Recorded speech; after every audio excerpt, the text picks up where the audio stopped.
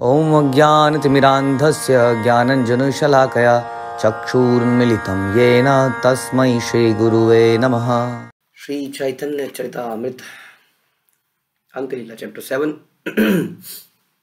प्रयास संख्या fifty four fifty five तो कैसे वल्लभ भट्ट सोच रहे हैं कि मैं तो एक महान वैष्णव हूँ। और वैष्णव दर्शन के सारे सिद्धांतों को सीख चुका हूँ। इसलिए भागवत का अर्थ समझ सकता हूँ और बहुत अच्छी तरह इसकी व्याख्या भी कर सकता हूँ। तो यही है कि मैं कर सकता हूँ। आई एम कैपेबल कई बार हम कह देते हैं कि ये सेवा मैं नहीं कर पाऊँगा। आई एम नॉट कैपेबल इसका अर्थ है कि मैं किसी चीज़ के लिए कैपेबल हूँ और किसी चीज़ के लिए कैपेबल नहीं हूँ। वास्तव में हम लोग किसी भी चीज़ के लिए कैपेबल नहीं है। जो भी शक्ति हमारे अंदर है, वो भगवान से ही आती है। इसलिए यदि हम गुरु की प्रसन्नता के लिए, भगवान की प्रसन्नता के लिए आगे बढ़ते हैं, समर्पित होते हुए, अपना सर्वस्व लगाते हैं तो हमारे अंदर कैपेबिलिटी आ जाती है। तेषाम सतत युक्तानाम भजताम प्रीति पूर्वकम ददामी बुद्धि योगम तम ये नाम उपयंती थे कि जो मेरे भजन में लगता है, मेरी श्रद्धा भक्ति में लगता है, निरंतर लगा रहता है, मैं उसको necessary skills and knowledge and ज्ञानम प्रोवाइड करता हूँ। तो इसलिए जो भी हम कर पा रहे हैं वास्तव में, भगवान कहते हैं कि मैं बलवान का बल मैं हूँ, बुद्धिमान की बुद्धि में हूँ। तो हमें हमेशा ये सोचना चाहिए कि जो भी हम कर भी पा रहे हैं, वो भी भगवान की ही कृपा से कर पा रहे हैं वास्तव में। इसलिए हाँ ये कहना भी उचित नहीं है कि हम ये नहीं कर पाएँगे और ये कहना भी अनुचित है कि हम ये कर पाएँगे। यदि हमें वैष्णव की कृपा मिलेगी, गुरु की कृपा मिलेगी, भगवान की कृपा मिलेगी तो हम कर पाएँगे, नहीं तो हम नहीं कर पाएँगे। इसलिए कहना कि मैं व्याख्या कर सकता हूँ, मैं मृदंग बजा सकता हूँ मैं प्रवचन दे सकता हूँ, ये सारे इसी तरह के विचार हैं। भट्टेर मने ते ई छिलग दीर्घ गर्व, प्रभुर वचन सुनी से हई लग खर्व वल्लभ भट्ट के मन में ऐसा गर्व दीर्घ काल से चल रहा था। किंतु जब उन्होंने श्री चैतन्य महाप्रभु का उपदेश देना सुना तो उनका गर्व चूर चूर हो गया। अभी जो पीछे इतने चैतन्य महाप्रभु ने इतने डीप नॉलेज जब उन्हें दी कि क्या है, किसको प्रेम कहते हैं, प्रेम वास्तव में क्या है, गोपियों के प्रेम किसको कहते हैं, उद्धव और सच एन इंटेलिजेंट पर्सन के भगवान उससे राय लेते थे, वो भी गोपियों के प्रेम को उन्नत माँगता है, जबकि गोपियाँ बाहर से देखा जाए तो मूर्ख जैसी दिखती हैं। एक स्त्री है जो रो रही है, कृष्ण चले गए खाना बनाना जानती है, जानती क्या है? और एक है उद्धव, जो द्वारकाधीश के पर्सनल काउंसलर है। हुँ? तो उद्धव कहता है, गोपियाँ, जब मेरे पर पैर रखेंगे, तब मेरा उद्धार होगा। तो ये सारे कथन सुनकर वल्लभचार्य का गर्व जो है चूर चूर हो गया। परबुर मुखे वैष्णवता सुनी सबार भट्टेरा इच्छा हिलता सबारे देखी बार। जब वल्लभ भट्ट ने श्री चैतन्य महाप्रभु के मुख से इतने सारे भक्तों की शुद्ध वैष्णवता के बारे में सुना तो तुरंत उनकी इच्छा उन सबके दर्शन के लिए हुई। यही लाभ है श्रवण का। हाँ हमने सुना था कि श्रीमद् भागवतम में कि किस प्रकार से वै कौन वैकुंठ में नहीं जाता है? जो वैकुंठ के बारे में सुनना नहीं चाहता है। यान्ति मध्य आजिनो अपिमाम कौन जाता है भगवान के धाम में? जो भगवान की पूजा, अर्चना, समर्पण करता है। वही जा पाता है। और हाँ जो यानी कि जो श्रवण करता है, भक्ति करता है, उसी को दर्शन की इच्छा होती है। वरना दर्शन की इच्छा कहाँ होगी? हम पहले भी सुना था कि दर्शन करने के लिए दर्शन जानने की आवश्यकता है। हम सुनते हैं, तब हम दर्शन बेहतर कर पा रहे हैं। इसलिए हम बता रहे हैं कि जैसे उन्होंने इन वैष्णव के बारे में सुना तो उनकी तुरंत इच्छा हुई। हमें भी देखना चाहिए, है ना? हम सुनते हैं अच्छा वृंदावन में ये वन है, वृंदावन में ये वन है, ये ऐसी जगह है, वो ऐसी जगह है, ये है तो हम कहते हैं, अरे, हमें भी जाना चाहिए। बट कहे एव सब वैष्णव, रहे कौन स्थान है कौन प्रकारे पाइमु यहाँ सबार दर्शन? है वल्लभ भट्ट कहते हैं, कहाँ रहते हैं ये लोग? मैं उनका दर्शन किस तरह कर सकता हूँ? और दर्शन करके क्या करना है? दर्शन करके टिक नहीं लगा देना है। हम हो आए गोवा में भी। हम हो कन्याकुमारी में भी। हम हो आए हाँ सारे हाँ, डलहौजी में भी टिक मारते जा रहे हैं। लेकिन उससे लाभ क्या हो रहा है? ये है क्वेश्चन हम्म ये सोचना चाहिए। संसार ब्रह्मांड भ्रमित है। संसार भटक रहा है। चारों तरफ़ भटक रहा है।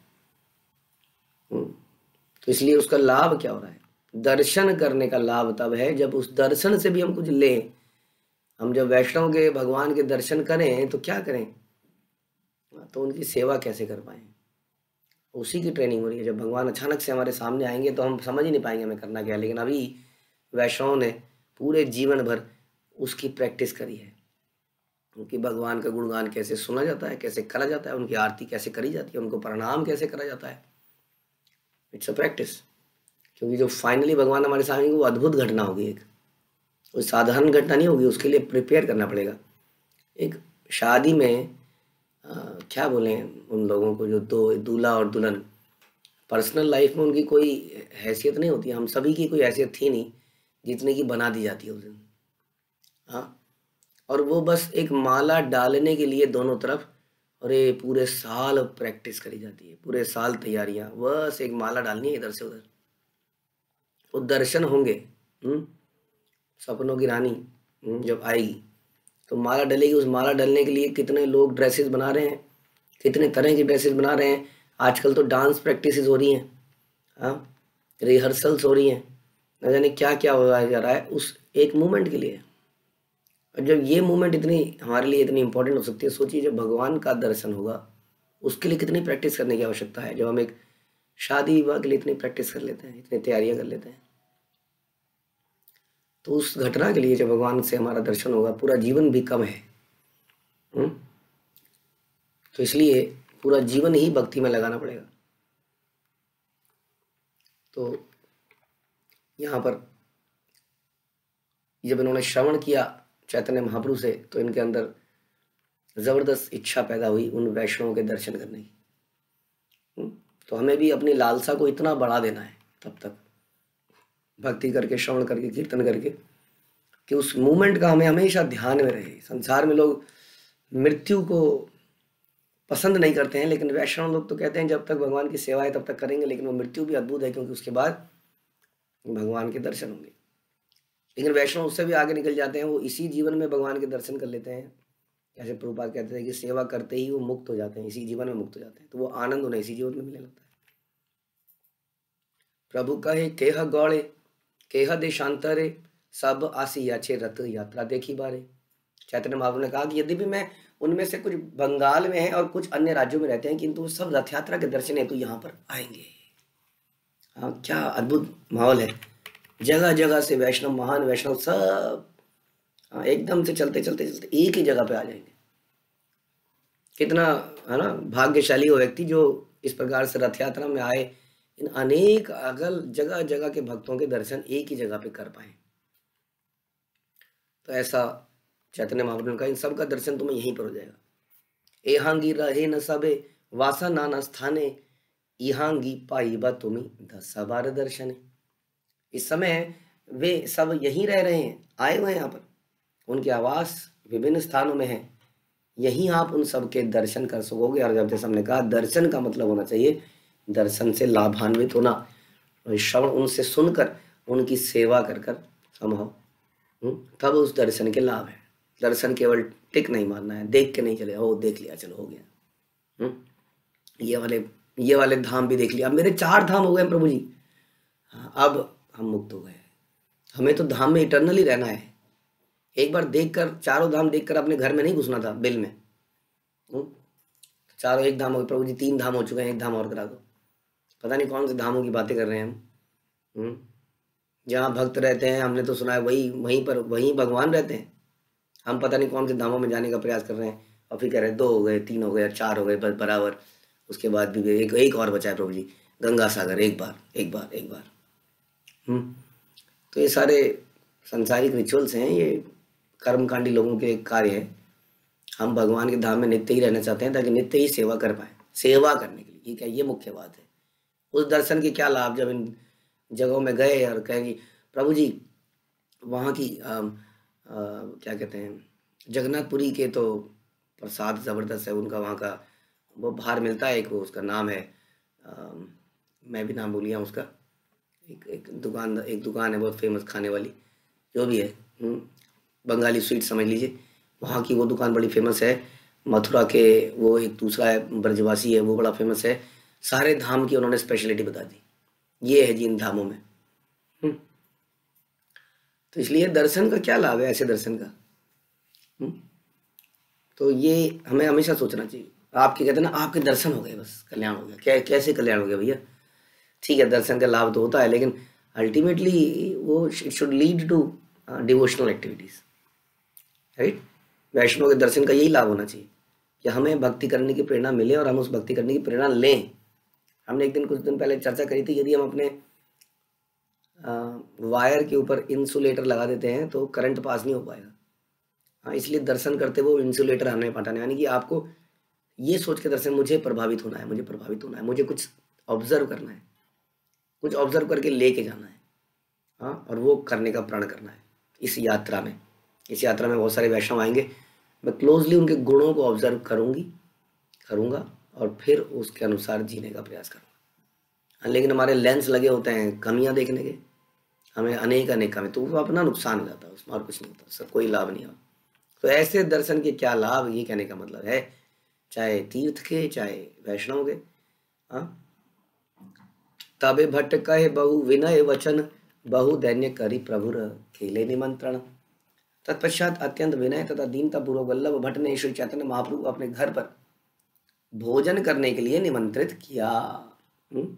बड़ी दीनता पूर्वक किया काफ़ी परिवर्तन आ चुका था? हम्म?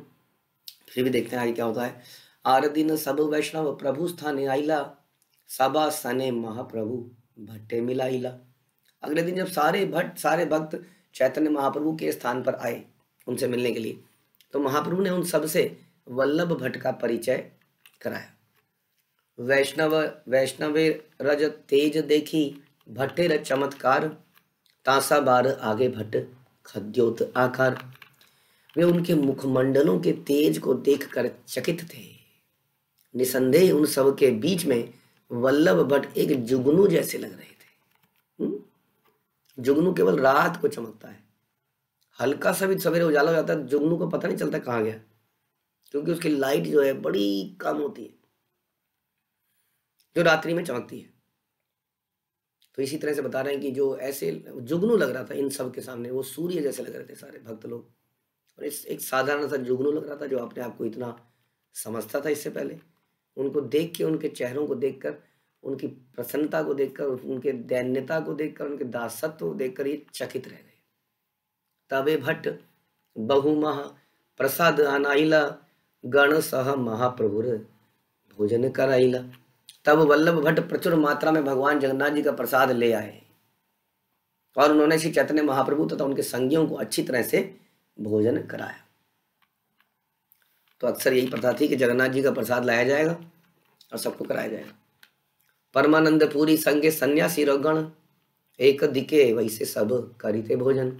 परमानंद पुरी इत्यादि श्री चैतन्य महाप्रभु के सारे सन्यासी, संगी एक और बैठ गए और सबने प्रसाद प्राप्त किया? तो सन्यासी लोग हाँ, ये कल्चर है कि हम कैसे सीनियर्स को रिस्पेक्ट दें।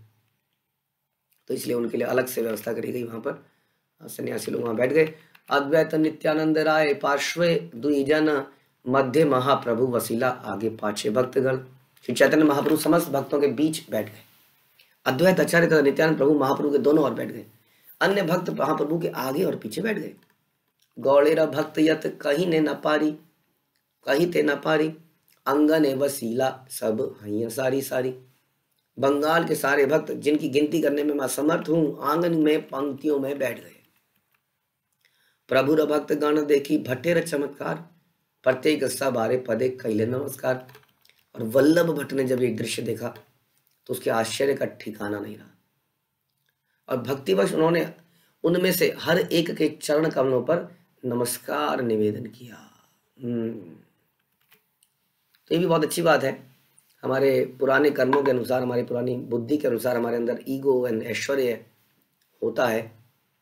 लेकिन जब हम इस प्रकार का दर्शन सुनते हैं तो हमारे हृदय में परिवर्तन होना चाहिए। तुरंत अपने हृदय को बदलने का प्रयास करना चाहिए। ये तुरंत अभी इन्होंने क्या किया? सबके चरणों पर नमस्कार करने लगे। ये जानते हुए क्योंकि चैतन्य महाप्रभु ने कहा था इन सबसे मिलेगा। हम्म, मैंने इन्हीं से सीखा है। हाँ, यही जानते हैं। तो वल्लभ भट्ट सबके चरणों पर नमस्कार करने लगे। स्वरूप जगदानंद काशीश्वर शंकर परिवेशन करे यार राघव दामोदर। स्वरूप दामोदर, जगदानंद काशीश्वर तथा शंकर ने राघव तथा दामोदर पंडित को साथ लेकर प्रसाद वितरण का कार्य भार संभाला। हम्म? तो इन सबने क्या किया? प्रसाद वितरण का कार्य संभाल लिया। महाप्रसाद वल्लभ भट्ट बहु अनाइला प्रभु सह सन्यासी गण भोजन वसीला वल्लभ भट्ट भगवान जगन्नाथ को अर्पित ढेर सारा प्रसाद ले आए। और इस तरह सारे सन्यासी खाने के लिए चैतन्य महाप्रभु के साथ साथ बैठ गए। प्रसाद पाए वैष्णव गण, बले हरि हरि हरि हरि ध्वनि उठे, सब ब्रह्मांड भरी। और सबने क्या बोला? साथ में बैठकर, हरि हरि। इस तरह पवित्र नाम का उच्चारण किया और सारे ब्रह्मांड में वो ध्वनि गूंजने लगी। और इस प्रकार से उन्होंने प्रसाद के अंदर हरि को देखा और प्रसाद को आइटम ना समझकर हरि का प्रसाद समझकर खाया। कि जब हमारे अंदर जाएगा तो हमारे सारे गंदे तंतुओं को हिला देगा गंदगी को धो देगा और हमें पवित्र कर देगा। हाँ तो इसलिए बार बार हरी हरी हरी हरी हम्म, का इन्होंने उच्चारण किया। इन्होंने बार बार टीवी के चैनल नहीं बदले हम्म, खाना खाते हुए। हाँ बार बार कार्टून नेटवर्क नहीं चलाया। खाना खाते हुए। माताएँ कहती हैं क्या करें प्रभु जी खाता ही नहीं है। इसलिए कार्टून चला देते हैं। कार्टून चला के कार्टून बन गए हैं और कार्टून बनाने वाले हैं। हम्म, और एक दिन कार्टून में बंद होकर कब्र में मर जाएँगे। तो उससे पहले हम्म, हमें बदलना होगा। प्रसाद पाते हुए कृष्ण चेतना करनी होगी। तो इसलिए इन्होंने बोला हरी हरी माला चंदन गुआ के पान अनेक अनिल सबा पूजा करी भट्ट आनंदित हिला जब सारे वैष्णव खा चुके तो वल्लभ भट्ट बहुत सी मालाएँ, चंदन, लेप, मसाले, पान ले आए। उन्होंने सब भक्तों को आदर पूर्वक पूजा की और इस तरह अत्यंत सुखी हुए। ये है सुख का, देखिए, एक ज्ञानी व्यक्ति है। हम्म? बहुत ही भौतिकता में संपन्न व्यक्ति हैं। लेकिन वो सुख नहीं प्राप्त आप देखोगे निजी जीवन को। बाहर से बहुत अट्रैक्टिव लगता है, चमकता हुआ लगता है, लेकिन जब निजी जीवन में झांका जाता है तो चलता है वो दुखी दुख है इनके जीवन में तो यही तो कारण है कि इतने सारे भक्त जो है, मंदिरों में आते हैं, प्रवचन सुनने के लिए एकदम तैयार हो जाते हैं हम्म? आजकल उल्टा है, आजकल गरीब लोग कम आते हैं, अमीर लोग ज़्यादा आते हैं, अमीर लोग ज़्यादा डिप्रेशन में है, इसलिए वो इस कौन के प्रवचनों में तुरंत हो हाँ यस, सही कह रहे हैं प्रभु जी सही कह रहे हैं प्रभु जी हम्म? तो ऐसा है, यानी कि उनको सिर्फ़ सुख नहीं मिलता, और ये वैसे ही व्यक्ति वल्लभाचार्य बड़े वल्लभ भट्ट, बहुत बड़े आचार्य, बहुत बड़े कथावाच लेकिन अब जब उन्होंने वैष्णव की मीनियल सर्विस करी तो उन्हें बड़ी प्रसन्नता हुई। रथ यात्रा दिन है प्रभु, कीर्तन आरंभिला, पूर्ववत सात संप्रदाय पृथक करीला। रथ यात्रा के उत्सव के दिन श्री चैतन्य महाप्रभु ने संकीर्तन प्रारंभ किया और पहले की तरह सात टोलियों में उन्होंने अपने को बांट दिया। अद्वैत नित्यानंद हरि दास वक्रेश्वर शिवास राघव पंडित गदाधर। सात जन, सात ठाई, करे न नर्तन, हरि बोल बलि प्रभु, करे न भ्रमण। तो कौन कौन सी टोलियाँ थी एक टोली में अद्वैत आचार्य लीडर थे, फिर नित्यानंद प्रभु, हरिदास ठाकुर, वक्रेश्वर पंडित, श्रीवास ठाकुर, राघव पंडित, गदाधर पंडित। इन लोगों ने सात टोलियाँ बना ली और नाचने लगे। और चैतन्य महाप्रभु हरि बोल कीर्तन करते हुए एक टोली से दूसरी टोली में विचरण करने लगे। चौद्यम मादल बाजे उच्च संकीर्तन। एक एक नर्तक तेरे प्रेम फासिल भुवन और उच्च संकीर्तन के साथ चौदह। हाँ चौदह मृदंग गूंजने लगे। हर टोली में दो मृदंग थे। हर टोली का एक एक नर्तक था, जिसके प्रेम अविश्व नृत्य से संपूर्ण ब्रह्मांड आप्लावित हो उठा। और वल्लभ भट्ट के लिए सब कुछ एक तरह से नया था। हाँ क्योंकि अभी तक उन्होंने केवल डिस्कशंस किए थे। आइए, चर्चा करें। चर्चा के साथ ये सब चीज़ें बड़ी ज़रूरी हैं। संकीर्तन इस संसार का, इस युग का मुख्य आंदोलन है। हम्म। संकीर्तन करना, उसमें नृत्य करना। हाँ। तो ये इन्होंने देखा, देखी वल्लभ भट्टे रहिल चमत्कार आनंद देवी भल नाही आपने संभाल। और ये सब देखकर वल्लभ भट्ट पूर्णतः चकित थे, वे दिव्य आनंद से विवल और अपने में खोए हुए थे। खो गए वो इस सबको देखकर। तबे महाप्रभु सवार नित्य रखिला। पूर्ववत आपने नृत्य खरीदे लागिला तब श्री चैतन्य महाप्रभु ने सबका नृत्य रुकवा दिया और पहले की तरह वह स्वयं नाचने लगे। प्रभुर सौंदर्य देखी, आर प्रेमोदय यही तो साक्षात कृष्ण भट्टेर हैल निश्चय। श्री चैतन्य महाप्रभु के सौंदर्य तथा उनके प्रेम आवेश का उदय देखकर वल्लभ भट्ट ने निष्कर्ष निकाला निस्संदेह ये भगवान कृष्ण है। हम्म? तो इस प्रकार से भगवान को भक्त कैसे समझ जाता है? भगवान को भक्त केवल गोवर्धन उठाने से नहीं समझता है, विराट रूप दिखाने से नहीं समझता है।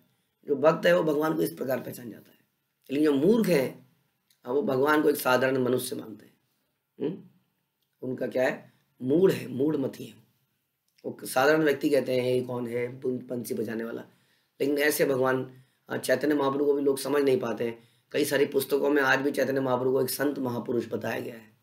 अभी जो हमारी पाठ्यक्रम में किताबें लगी हैं, संसारिक किताबों में, उसमें महाप्रभु को एक महान संत बताया गया है जो कृष्ण प्रेम में डूबे रहते थे। तो ये अधूरा सत्य है, क्योंकि वो साक्षात कृष्ण है।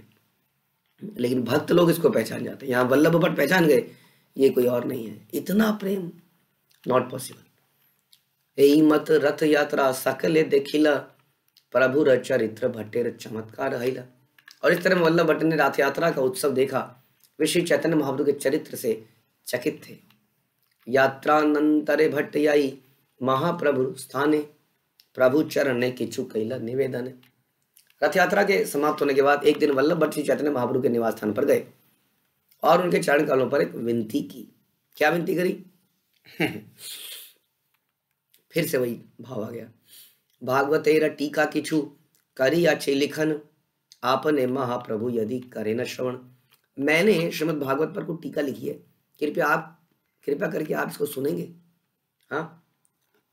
जनरली आदमी सुनाना चाहता है, इसका मतलब वो अपना, अपने लेखनी को, अपने क्रिएशन को दिखाना चाहता है। लेकिन किसको दिखा रहा है? दिखा रहा है महाप्रभु को। हम्म। तो बोला, मैंने कोई टीका लिखी है, क्या आप इसको सुनेंगे? प्रभु कहे, भागवतार्थ, बुझी न बुझित न पारी। भागवतार्थ सुनीते आमी नहीं अधिकारी। अब महाप्रभु ने क्या बोल दिया? बड़ी हम्बली, क्या बोले और? है ना? महाप्रभु ने बोला कि श्रीमद भागवत का मैं अर्थ समझ ही नहीं सकता हूँ। मेरे अंदर इतनी कैपेबिलिटी नहीं है, मैं सुनने का पात्र ही नहीं हूँ। हम्म? मेरे को क्या सुनाएँगे आप? मैं तो मूर्ख हूँ, जैसे वो बोलते थे। मेरे गुरु ने मुझे बोला है कि हरे कृष्ण कीर्तन करो, हरे कृष्ण गाओ, जपो। तो ये भागवत मुझे समझ में नहीं आई। कहने का मतलब हालाँकि चैतन्य महाप्रभु भागवत सुना करते थे डेली। गदाधर पंडित से।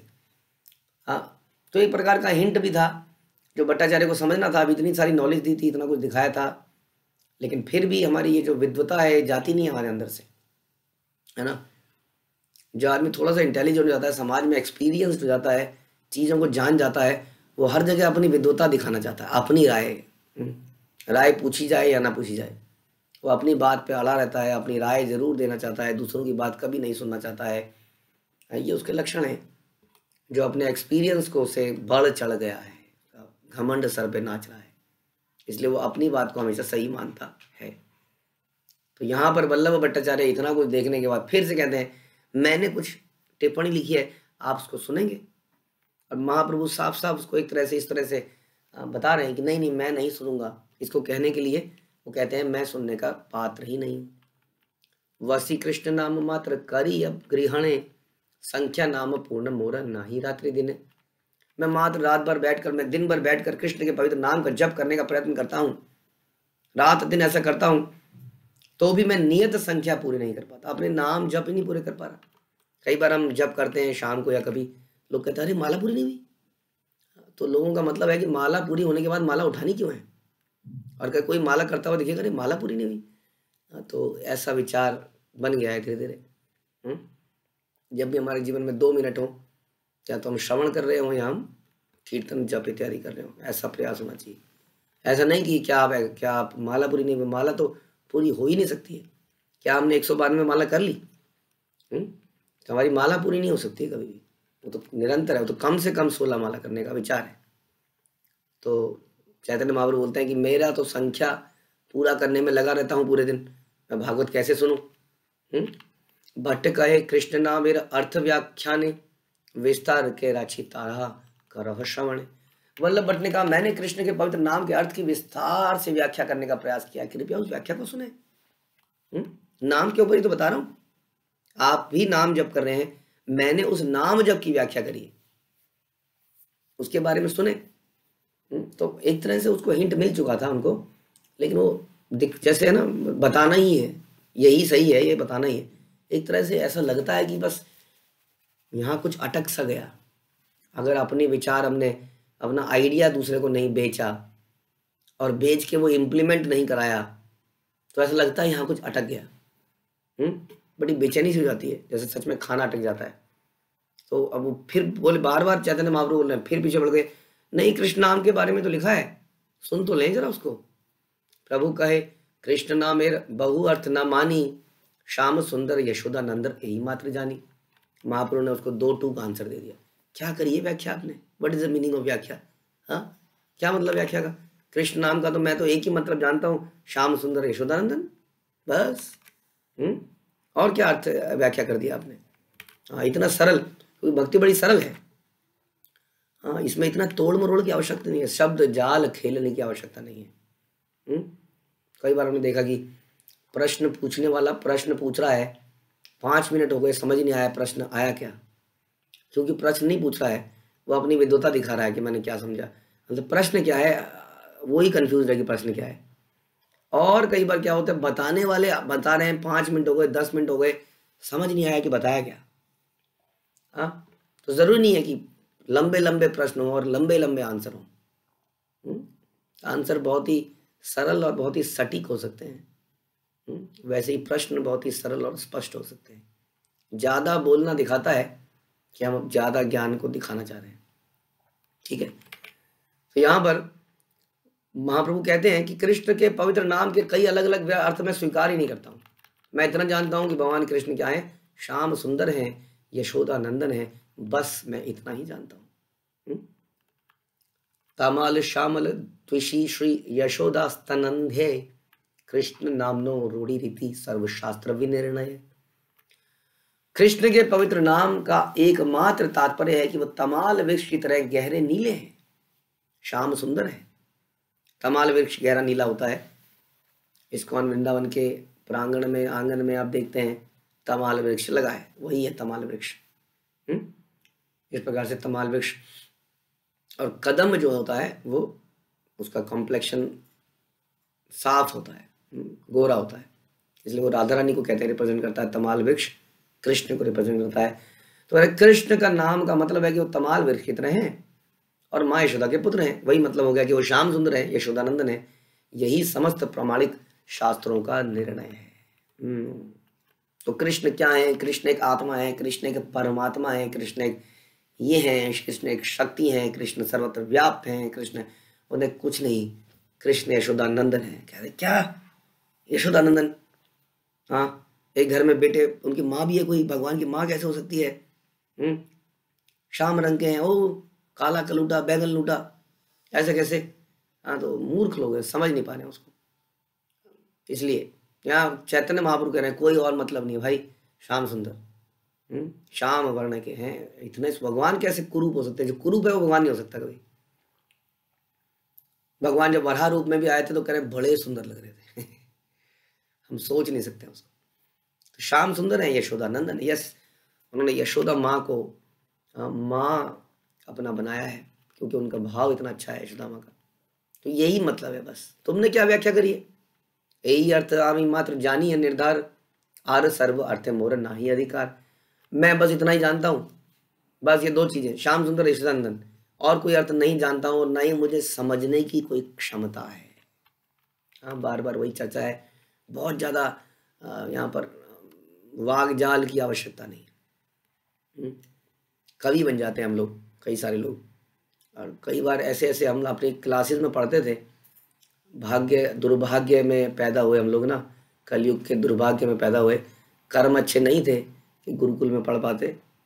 ऐसे ऐसे स्कूलों में पढ़े जहाँ पर ऐसे ऐसे नावल होते थे कि बहुत टी, एक एक टीचर दो टीचर उसको लिखा क्या है इसने? कहना क्या चाह रहा है?